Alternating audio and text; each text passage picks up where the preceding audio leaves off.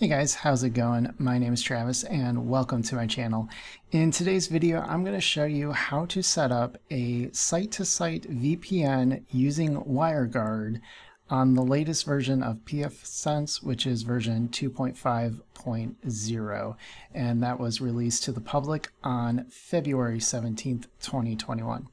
So let's go ahead and kind of talk about um, so WireGuard is essentially a very lightweight VPN and it's kind of taken the world by storm. You've probably heard of it. Um, it's very lightweight. It's built into the kernel. It's a layer 3 and above VPN, so it can transfer anything layer 3 and up. And it's and when I mean it's very lightweight, it only has like a few hundred lines of code. Like this thing is efficient.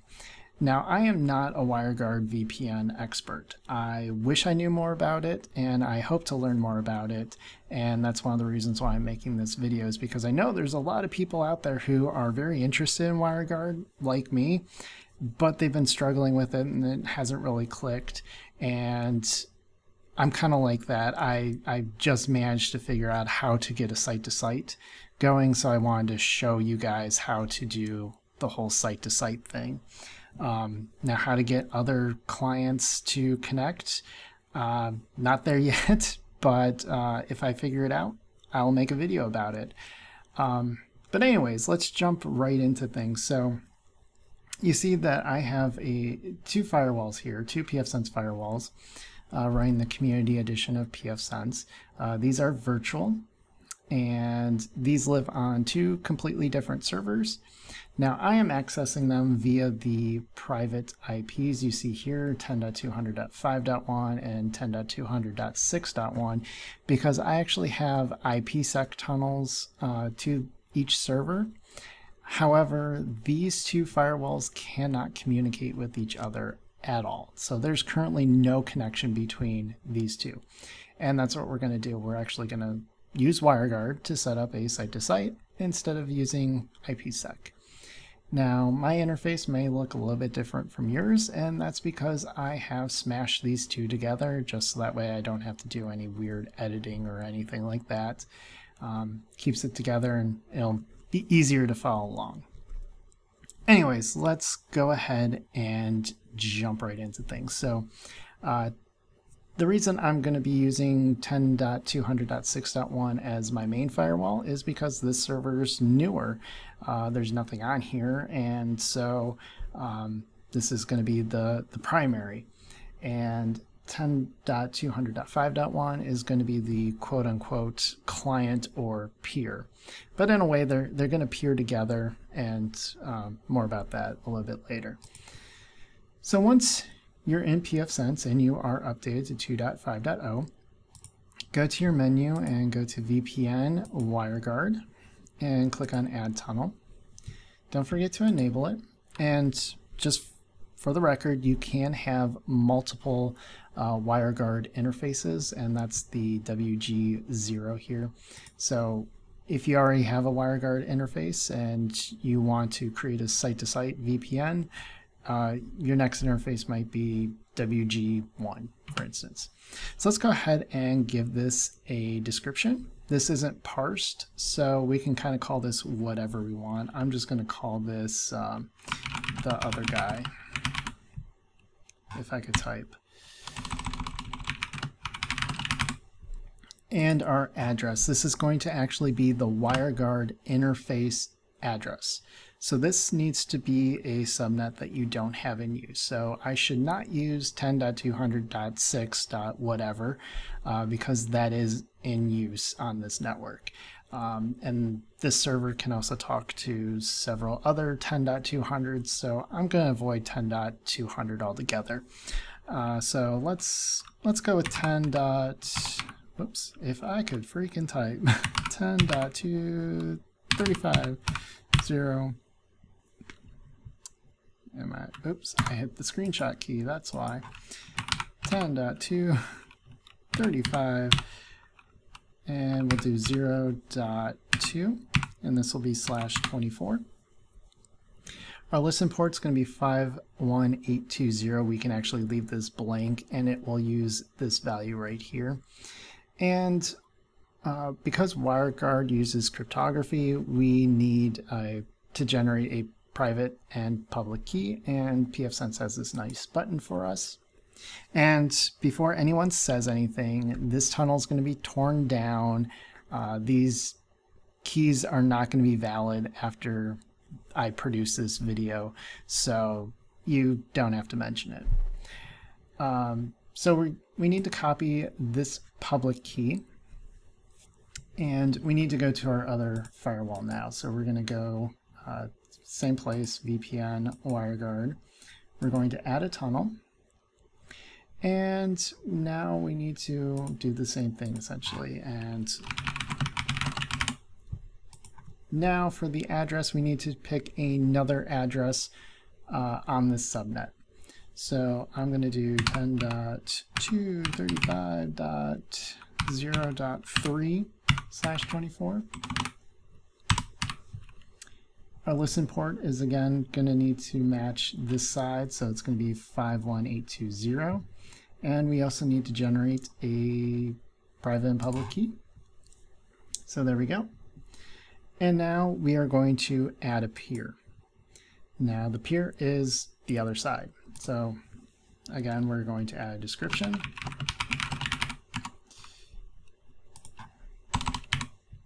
And our endpoint. Uh, because my servers do have static IPs, um, I'm going to enter the uh, IP address for uh, 10.200.6.1 and I'm going to blur it out. So um, this would be your public IP of your quote unquote server. So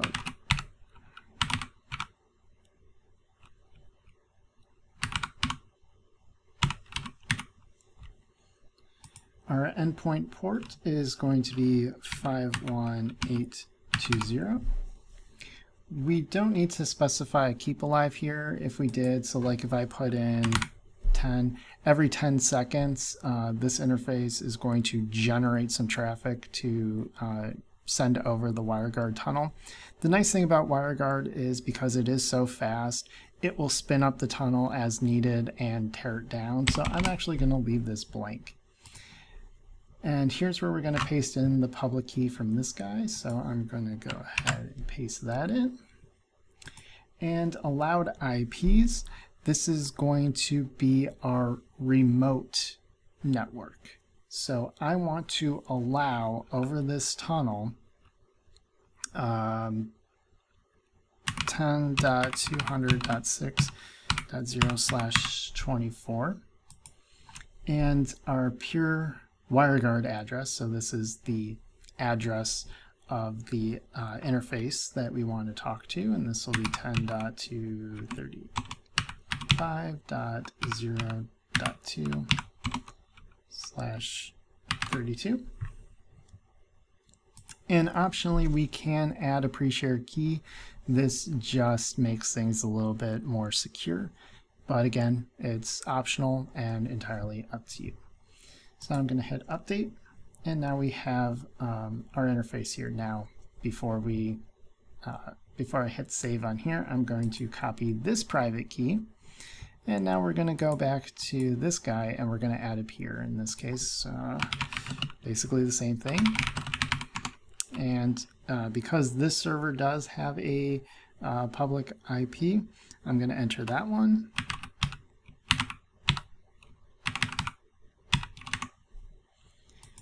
And again, I'm going to enter the endpoint port, which is 51820.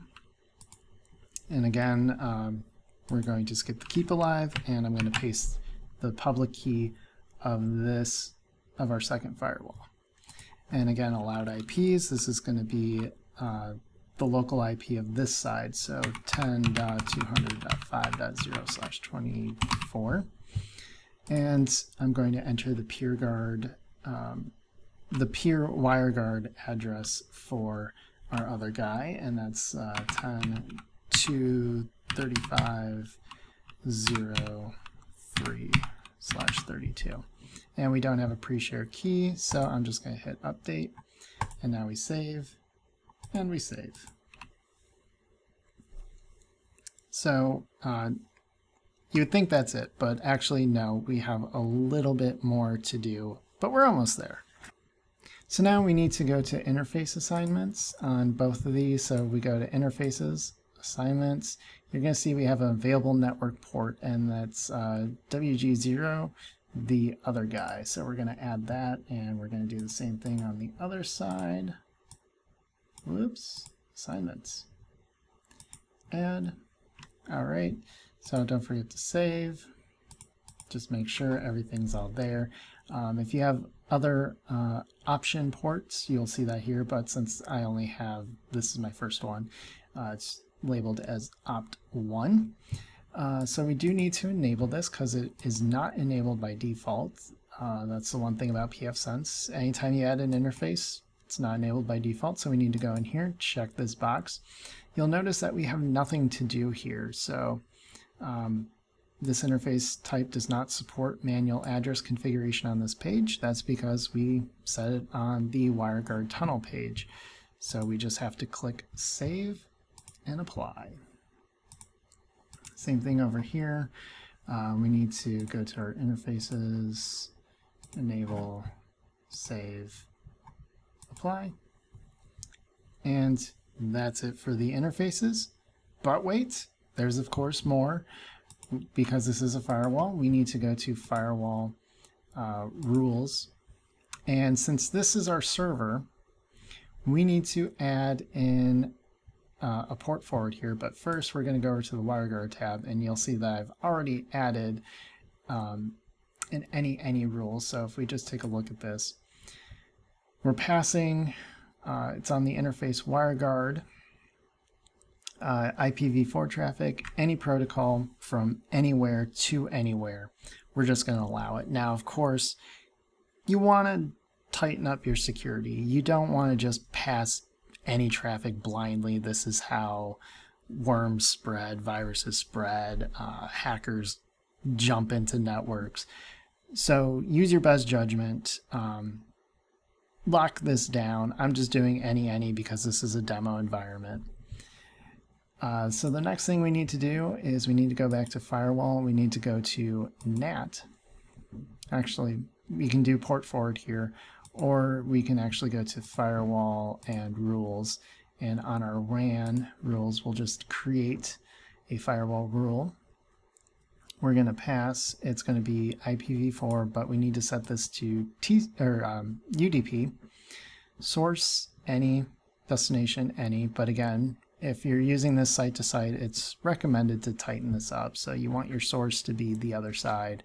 Um, however, I'm just going to let anybody connect to this.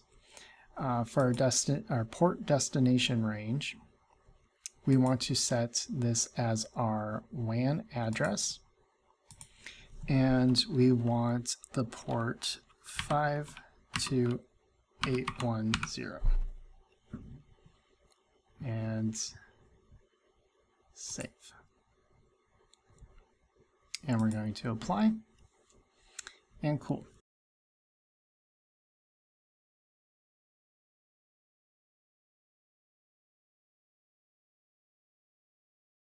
Yeah, let's do host name to ping 10.200.5 5 dot, jeez, 5.1 ping Oh, there we go. Okay, cool. So now we can actually reach the other side and that's it. That's all we have to do. We are we are done. That's it.